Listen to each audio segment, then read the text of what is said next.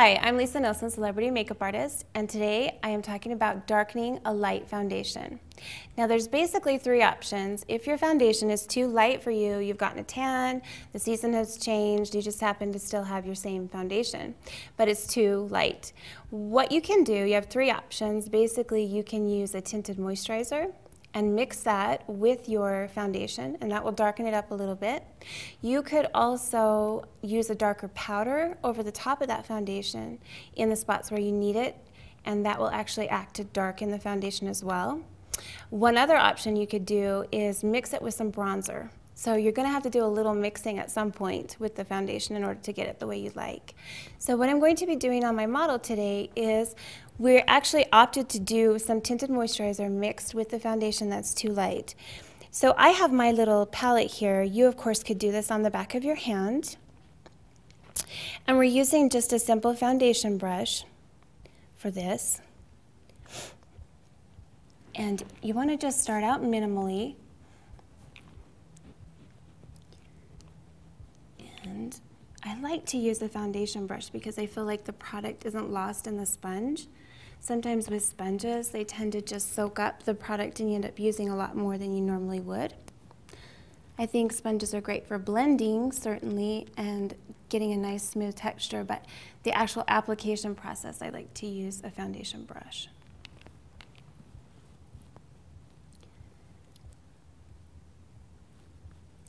Now this was actually terribly light, like it would be super, maybe two shades too light for her, but because we mixed it with some bronzer, it's just darkening it up a little, and we're just working with her skin, kind of going out and down.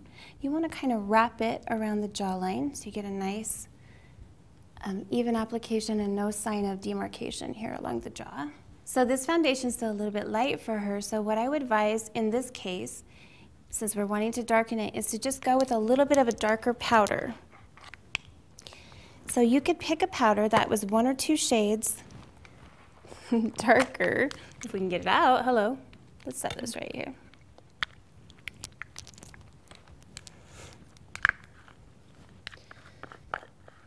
And darker powder is great too because you can use it sort of as a contour. And I would start in the forehead and just bring that down through the T-zone.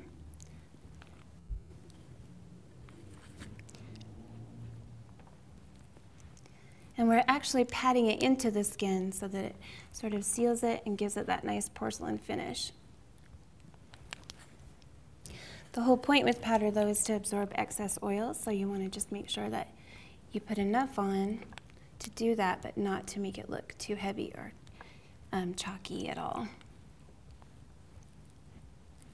You'll notice how that just gives it a nice, just a little bit more depth and darkness there.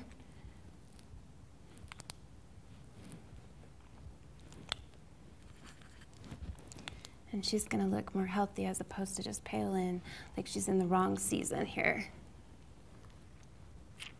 Much better. Much better. So I'm Lisa Nielson, and that is how I would advise to darken a light foundation.